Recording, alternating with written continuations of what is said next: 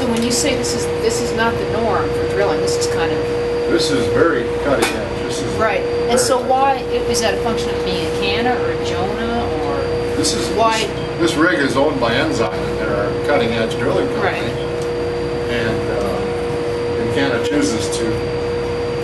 The whole deal, and Encana's whole deal, in a- in a nutshell, is if the hand's not out on the floor, Right. making the connection, Huge. and something breaks, it wipes the guy out. Right. Right now, I'm not gonna tell you that our stuff doesn't break, but there's nobody out there to Right, get hurt. right, We sure. can, we can repair the equipment, we can nurse our wounds, and it didn't involve a guy getting his hand pinched. Even this catwalk's automatic.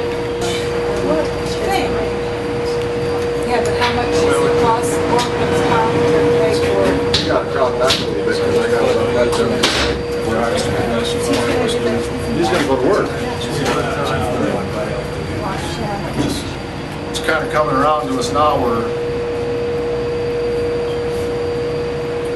some of the older rigs are a little faster than these. But we're gaining uh, on the whole bunch. It's all about keeping our people safe.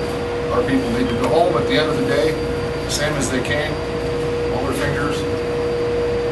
And plus, the technology on this rig, you you can know what's going on without even having a hand, having to call on the radio and tell the driller that something's broke. He can pull it up on his pen, on his, on his computer here. He can look at the AC house and see what position the switches are.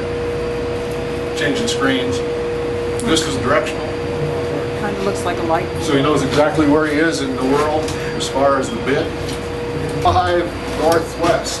And so these little markings, I mean, right now, that's where he's, is there a way to tell graphically? What's that? Yeah. Where's your stand by Here, here you go.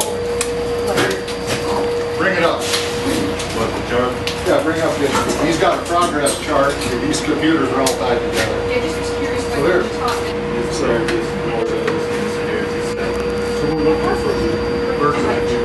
Yep, straight down, so that's what you see on that is Well, horizontal yeah, but displacement. no, it's a lot better. Bottom of the location.